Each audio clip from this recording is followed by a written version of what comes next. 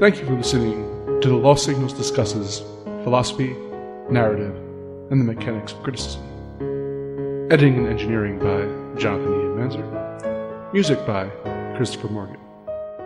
Check us out on YouTube and iTunes for the shows, and on Facebook and Twitter for updates. Hi, and welcome to another episode of the Lost Signals Talks, TED Talks. Today we're doing John McWhorter's Texting is Killing Language JK. LOL. Yes. I'm Jonathan Ian Manzer, here with Rich Berry, How you doing? Stephen Amosi, Aloha, and Scott Thurlow. And I'm helping to kill language. As, definitely. as So- usual. This is a discussion um, about whether texting is, as the title say, uh, somehow grammatically incorrect and destroying language, Contributing Or- to the downfall of our use of proper language, we'll say. or if it's a new form of communication. Hmm. So I'm going to give a brief overview, going a little bit different than he tackles it in the uh, actual work, but there are four uh, quadrants of language. There is casual speech, which is the first that developed. It's how we discuss every single day. What uh, came next was uh, a formal written language, uh, which is when you think of like writing an essay for school or Or a report or a letter, like, maybe. businesses or something like that. It's a, um, there's a strict grammatical structure to it. Mhm. Uh, there is formal speech, which is the I suppose the rarest of all of these, as uh, it is speaking like you formally write. Yeah. Uh, and when you think of, uh, I guess the Gettysburg Address Address is a good one, like that, exactly. uh, or just someone giving a formal uh, Winston Churchill speech or exactly, something. Yeah. uh, you're you're speaking exactly how you write, and texting. The argument that uh, McWhorter is making is a kind of a new form of language, and even though like per- perhaps graffiti could be considered beforehand, but uh, texting is uh, casual writing and writing like you speak, and as a linguist myself, I agree with that premise, but I want to know what you guys think about it. So I've said this to you guys like offcast before. It's sort of my own personal thing, but back in the day, like uh, even before texting, like AOL, right? I was at that time, maybe I'm dating myself, but still adamant about like proper capitalization, proper gram- grammatical usage, and so forth, right? But I get the. F- eventually, I realized that like I understand why people don't do it. It's not necessary, and as you said, it's sort of like at this point in my life, I've sort of softened to that. Mhm. I don't mind it. Like I I do agree largely with his point that like it's almost like a subsect of a dialect in a sense, and it's convenient. Like for a modern daily usage, yeah, it's basically writing like you would speak to a casually to a friend just to exchange information. But you don't need it doesn't need to have that for- formality attached to it. So like I'm not as against it, I guess, as I used to be or would have been. So like, but I do think it's interesting that it is sort of like again its own little sub little Creole almost kind of in a sense.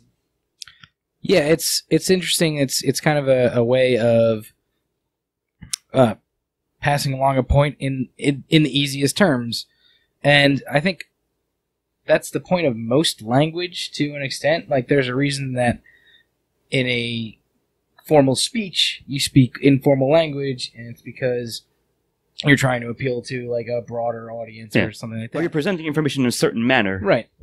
And uh, the fact that you know this casual text language has has come up is because text wasn't always an easy way of uh, talking to people. It wasn't like a casual form of uh, Communication, yeah. Communication. You would have to think about something, write it down, you know, mail it to somebody, and they would get it two weeks later or whatever. And now Right. that It wasn't it's instantaneous. instant, in the same way as speeches, there uh, it opens up the door to like have a casual form of that come about, and I think that's I think it's interesting. Like, and I think that it's well worth studying. Like. Exploring. how Yeah. that affects not only people in the way that they casually speak to each other, but it, it's certainly coming into or affecting the way that formal uh, speaking happens, such as giving a TED talk about casual speech and using words like LOL and like you know haha or JK, whatever. whatever. Yeah. JK. So I think that's I think that's all kind of uh, really interesting uh, things to think about getting out of this TED talk. I think also like a lot of it is saving time too. Like you have like yeah, kind for of sure. like from the speed of thought. Basically, these conversations are going on. It borrows a little bit from shorthand, like the uh, Yeah. stenographers used to use. Yep. Or probably still use.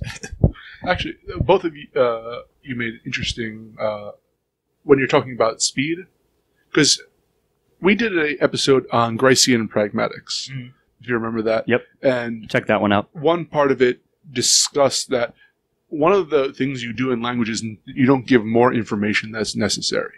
Uh, if you're long-winded, like all of us on this uh, podcast, Mm-hmm. uh, it, it could be Lost uh, in the shuffle. no, it could be expedited, and uh, Yeah. like uh, we're kind of betraying. Like if you spoke the way we did in a natural conversation, it would seem you're dominating the conversation, or uh, it would seem stilted and to, yes. to a s- degree. exactly. This is why people don't talk to us. That's what, that's what we have to talk to avoid Yeah. at people. but that's why you never see like there's very few people I know write more than one text message in length uh, when they're trying to. Aside from Chris, Well, I was just about to say that. Well, actually, Guess who's not here today? Sorry, Chris. Chris Moore can be the You're exception going uh, around another to that rule, but but you're right. Like in general, that is of course true. so do you think it'd be weird now now that uh, so one of the points he makes i, sh- I should uh, start this off with uh, is that text messaging as a language is starting to uh, is in the Evolving. yeah it, it- definitely evolving and uh, like variations are coming up and Mm. they're competing and if you follow like the linguistic theory of like the evolution of language it's that competition between the Right. two are coming up to dominate um, do you think it's weird now as you were saying earlier about the formal speech now if people write to you uh, text messages very formally is that strange or do you expect the casual Well, if you're asking me personally, it's not strange because again, I don't mind it, and again, I was almost more, I was more emphatic about it earlier. So, if, yes, Are you, asking, are you asking like strange to us or in general? Either. However you want to interpret my question. yeah. So I'll, I'll finish. I'll answer. Like to me, it's not all that strange. Although I Can can, I see why you might. Can I finish it? It's like a text message unto itself. But no, like to answer, I wouldn't find it like, oh, that's weird that they like you know use proper grammatic, like as if it were like for, formal writing as in a text. But you don't see it all that often, sure. But it, it's not off-putting, I guess, because as you said, like it's almost like its own little subsection of communication because the technology has allowed us to do it as such. So Sorry. Yeah, so like I'm yeah, and not off-putting, but I'm, I feel like you don't see it as often. But if you don't, that's obviously fine too. It's almost become like the standard is not to be as formal. So I think a lot of it might be generational too. yeah, that's a good Like point. depending on how how much of how much of this you've grown up with. Yeah, that's like- absolutely a good point. Like younger kids are going to be almost uneligible with the amount of like abbreviations that they use, whereas like I would say like our us we use like kind of Like- like a like a mix. like a Oh, mix yeah, of it. Exactly. Yeah, true. Uh, I've had to look up abbreviations when people have used it because I had no idea what they meant. we don't know. We don't know what the kids are saying anymore nowadays. d- yeah, like, t- uh, never mind. Uh, I, I was going to say is, um, I think that it's interesting, and, and actually, it's funny that you say it's a genera- ge- generational thing, which it certainly is to an extent, but you can tell a lot about, to, to not answer your question at all, but to go off on my own little tangent, uh, you can tell a lot about a person based on the way that they text Mm. you, right? Like, there are people my age or younger that do send like very formal texts and like to me that shows somebody that like for whatever reason they found uh some kind of like refuge in sticking to the term like Sure. sticking to the rules of grammar whereas you'll see a lot of people older than me even that just send a ton of emojis and uh, you know Hmm. weird acronyms and stuff like that and i don't think either one of those uh, is bad in any way or like Any is better or worse than or the worse other, than yeah, the other exactly. but it does tell you a lot about that person when you get a te- the, the first text from them especially if like it's somebody you met and you had a conversation with them and then you like start a text conversation, and the way that they, it's always interesting to see like the way that somebody speaks to We'll you, call it we'll call it verbally syntax sort of. and the way that people Yeah. speak to you via text, and like how different those are. Mm. So I, I always find that kind of It's, fu- interesting to look at. it's funny actually. Like my, uh, I've noticed that the older members of my family are making more of an attempt to use abbreviations in their texts. Get down with the kids. yeah, that would Yeah, be that would be well as- totally radical cool with like you if- guys. I mean, like kind of like they they don't care that much about it, but like just sure. because they'll like see us use it, so then they'll like attempt to use it. Yeah, it's it. almost yeah. like a meme unto itself. Right. I was going to say. they throw in a BTW every once in a while. yeah, sure, but, but- it's like. But then, like I, I read it in their voice, so it's just like super weird. Yeah, so well, that's an aspect, like a layer that you could, like, you know, like add onto that because you Yeah. know, you're familiar with them, but because it's a different medium, you're not speaking Yeah, to so them. like just my dad using the language of like a teenage girl. It's just sure, it's uh, it's it's jarring. It's, It is funny it's that a weird you mentioned that- juxtaposition. That, you say that way. I'm, I, I will uh, allow you guys to go in a second, but um, the the fact that it's almost a completely different language. If you showed somebody a like random teenager's text message twenty years ago, they would have no fucking idea what they Yeah. were talking about. of course. well, that was like that was half the fun of it too. Like when we were kids, to like have Yeah, you have these your own language. abbreviations, so that our parents could. Well, it would take them a while to figure out exactly Right. what we were talking about. Exactly. So I, I was gonna. I'm glad you brought that up because I was gonna touch on that. But that also is true. And but you mentioned emojis, which we were sort of talking like offcast, uh, precast before, a- after we'd seen the talk. Now, Mhm. like, is emojis? It's almost like hieroglyphics, right? Could you have a conversation in text that's entirely emojis? I guess you, yes, could. But again, it it even loses. You know, it's not as robust as Hmm. even if you're doing acronyms and, and like even weird like in joke abbreviations via text. It's not quite the same. It's almost like a sub sub language of that. The problem is emojis don't have like specific Right. meanings, right? Exactly. Like they, like they're they very have, loose interpretations. Yeah, Yeah. All right, so I'm going to jump in to address both of the, uh, Okay. emoji the town. last, uh, conversations. One, generation does play a huge role, but not just in text messages, in slang, In and, general, uh, sure, of variation of course. But it's not just that. It's actually, I believe, young women have the most impact in shaping language uh, amongst any group, and then uh, that, so it's there's no like uh, your parents would definitely look at what you're saying. Not understanding the context of what it means necessarily for that generation, Sure. and try to apply it. So they're adapting it to their lexicon, but TIL. they don't.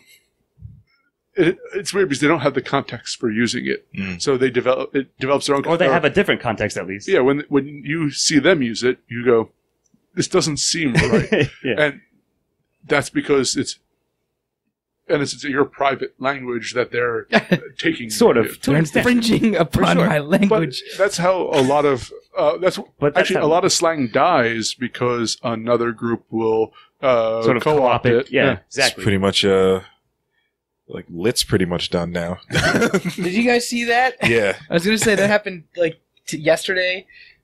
Trump Jr. said something was lit, and everybody was like, "No, lit, Mm. we're not using lit anymore." it's now Forget stigmatized it. because of that. Sure, but it I mean, yeah, different that's how it works. So I, I, I'm going to pick up a couple like random examples. If anyone has seen the show uh, American Vandal, Mhm. which is was pretty good. That's- that's very- yeah, so it was- drew a bunch of dicks. I remember. Yeah, who drew the dicks? But there was one like episode where they focused on like like as if it were like hardcore evidence, a string of text messages, right? And this Yeah. whole conversation centered around like the use of the word "hey" and how many Y's were attached to "hey." Like like it, the more Y's there are, the more like seductive it was. It was a whole like, like it was a a- amazing little thing, but I think it applies here because it's you cannot do that in any other way, really. Or like it's almost creating like hey, like one of the female characters explained like oh if you see a hey, if a girl says hey to you with three heys, it's like hey, right? Uh, so but it has like variations. there's an interesting thing about imitation I want to talk about quickly. Okay, I, I took a class once upon a time on how legally you can see the way they does. It's actually a science, Hmm. uh, or at least they're attempting to make it a linguistic Sure. science. But uh, you could, it, let's say you kill, uh, if you had a daughter and you killed her, and we're trying to make it seem like Oh, she this was got dark. Jesus Christ! No, Christ! but this is good scenario, dude. no, but this is actually the scenario we were, we were studying in Okay. class. Was a guy killed his daughter trying to pretend I she guess still alive, psychologists and and philosophers are sending fucked up. text messages A- As Uh, if it as were it was her. Yeah. Yeah. and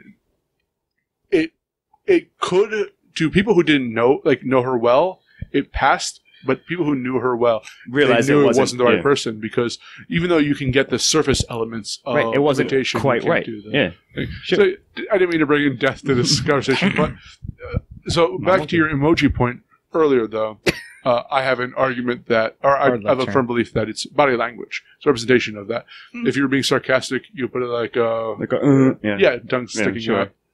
If you uh, like two smiles, three smiles, all have different meanings, uh, and just like we have a very nuanced um, like use of body language in yeah. our uh, everyday casual. Uh, Yeah. No, that's absolutely fair. I just like I said, like to me, it's almost like hieroglyphics are technically a language, but that's what emojis are. Like to me, like I draw the like comparison there.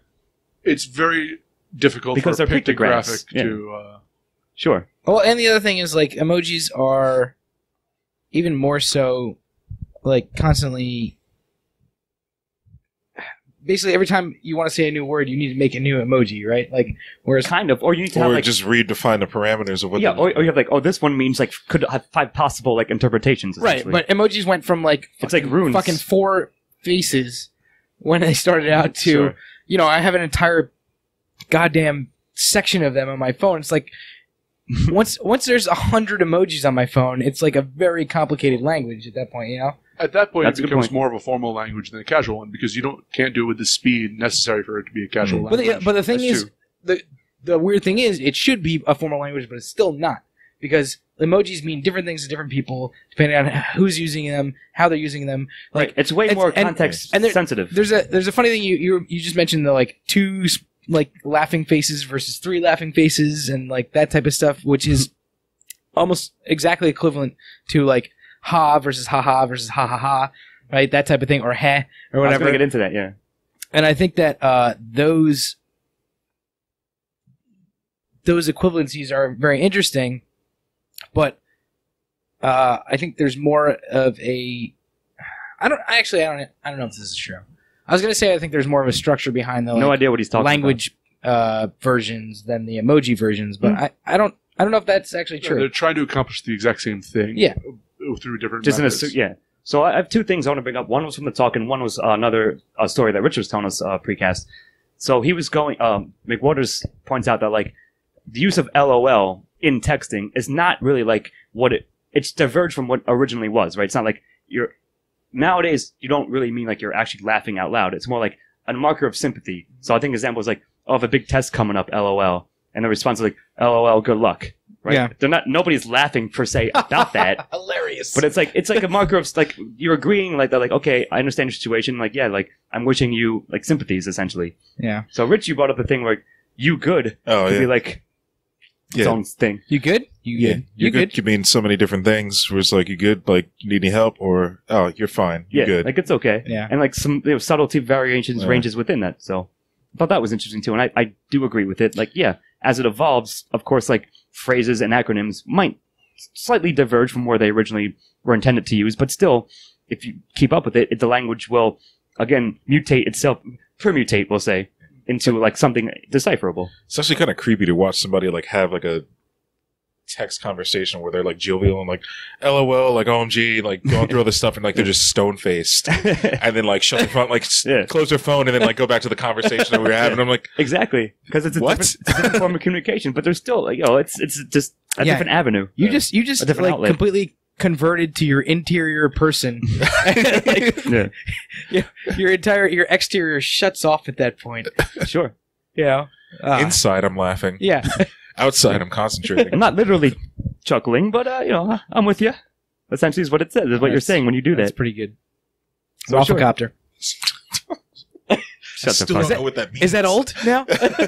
I guess I guess the audience will tell us if we're old men or not in terms of texting acronyms. I'm certainly an old man Yes. when it comes to Sure. anything related to language. But do you guys have any final thoughts? No, I just think like yeah, it's interesting that I have again changed my view a bit uh, on this very topic, and it was a really good talk. You should check, definitely check it out. We'll put up a link. But yeah, like I, I do, I think it's just it's going to be cool to see like perhaps how it evolves from now because even some of the things he said are like a bit outdated or like not quite. From like this talk was like what 2008 or something like that. I can't remember. 12, offhand. Really? Yeah. Ele- uh, Twelve or eleven. Okay, it's still a couple years ago. Is all I'm Yeah. saying. So like even the things he were like he was pointing out. Damn, that's Are- more than half a decade. Yeah, exactly. So in that time span is all I'm saying. What like, have I been doing with my life?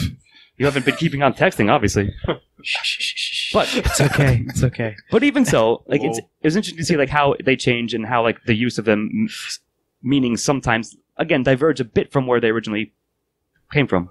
as will any language. It's again, Exactly. we're- as we mentioned, this is constantly evolving, and there's and you guys have brought up like emoji saying standardization hasn't quite happened yet. Yeah, That's a good point. Exactly. True. Uh, we'll, we'll see where it goes. Yeah. Maybe we'll all be speaking in uh, texting. Well, True. I was I, actually. I think if standardization happens, then it's not necessarily a ca- casual language anymore. I don't think that standardization No, can really like there is a standard for all these things, but like it depends on who you're talking to. I In the same way it's as, like, it's regular. More, uh, the thing is, so if I wink at you, like How can I get you to never do that again? Give him a give him a frowny face. This is gonna be that Five kind of of. them. This is gonna be that kind of wing. I can do without that. Actually, no. I, I, that's funny. That's funny. like there, it, it will take on a meaning over time to them. Uh, One variation will dominate until another variation takes its place. Right, takes Uh, so precedence, it'll never, whatever.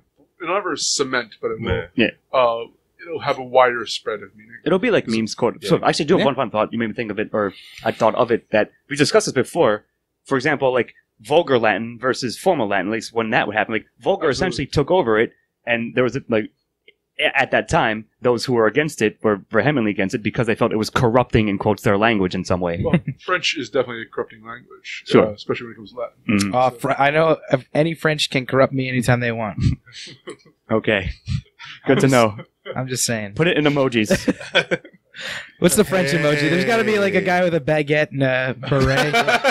I guarantee you can find it. Or if not, you should make it. Speak baguette guy slash beret or woman, either one, Mhm. to me. I'm Jonathan Manzer here with Rich Perry, Yeah. French Stephen Hermosa, This convo is lit AF. Scott Thurlow. Snake face, frowny face, poop head. Good night. Thank you for listening to the Lost Signals discusses philosophy, narrative, and the mechanics of criticism. Editing and engineering by Jonathan Ian Manzer. Music by Christopher Morgan. Check us out on YouTube and iTunes for the shows, and on Facebook and Twitter for updates.